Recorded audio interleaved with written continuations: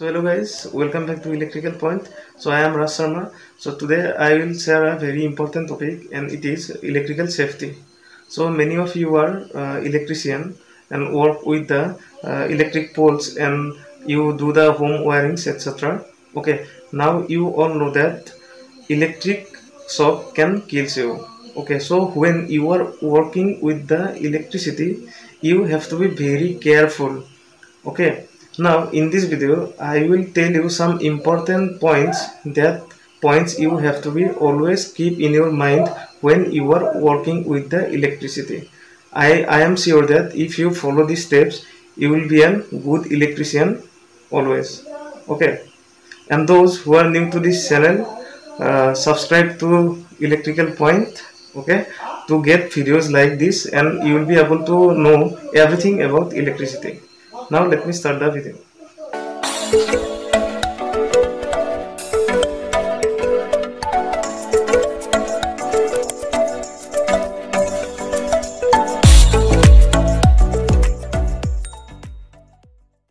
Now guys the first thing is when you are working with the electricity always turn off the main switch or the isolator or the fuse. Whatever equipment is used in a house. Okay.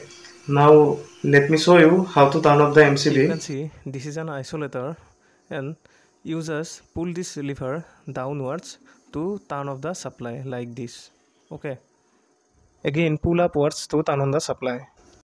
So guys this is very important because if there is current in anywhere and if you mistakenly touch a wire you will get the electric shock and after doing that you should always check the supply is off or not by using this line tester okay now i will show you how to uh, use this line tester. On the switch you can see there is a red light on the tester. Now when there is uh, no supply you see in the tester there is no Guys, light. your next point is you should always use hand gloves. When you are working with the electricity you should wear hand gloves in your hands as much as possible. Now see the next point now see when you are touching any wire you should always keep in your mind that the wire should not have any leakage. You can see in this wire see there is a leakage okay? So when you are touching the wires you see that the insulation is proper in that wire okay? So if there is any leakage and current is flowing through this leakage it will give you an electric shock now see the next point. In the next point when you are joining two wires suppose i am joining these two wires okay like this i have joined. And after that don't forget to use an insulating tape like this okay. So cover this joint using an insulating tape like this. Never keep any joint open okay now the next important point is you use uh, this kind of apparatus. This is a wire cutter and this is a plus and uh, you see this is tester or screwdriver. So when you are buying these equipments from the market you always see the insulation part. This should be always proper. See this this part is always made of metals okay? And this is the insulation used in this equipment. Okay now somehow this insulation if somehow it is damaged there will be a electric leakage through this metallic body. Okay and that will give you a electric shock. So always see the insulation is proper on the material or not. Guys your next point is always uh, use the switch between the live wire. Okay never use the switch in the neutral wire because actually the live wire always carries the current not the neutral. So always uh, put the switch in the live wire not in the neutral. Let me show you properly. Suppose this is the neutral wire this is the live wire and there is a apparatus here. Suppose let me call it uh, as fan okay? And there will be uh, there will be a switch to turn off this fan or turn on this fan suppose this is the switch. This is the switch.